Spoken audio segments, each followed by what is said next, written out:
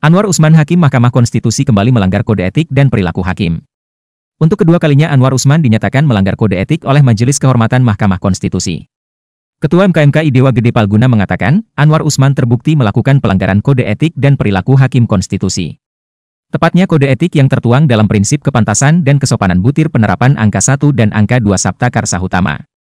Memutuskan, menyatakan, satu, Hakim terlapor terbukti melakukan pelanggaran terhadap kode etik dan perilaku hakim konstitusi sebagaimana tertuang dalam prinsip kepantasan dan kesopanan butir penerapan angka 1 dan angka 2 Sabta Karsa Utama.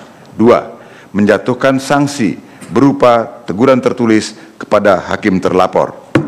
Demikian diputus dalam rapat majelis kehormatan oleh tiga anggota majelis kehormatan, yaitu Idewa Gede Palguna sebagai ketua merangkap anggota, Ridwan Mansur sebagai sekretaris merangkap anggota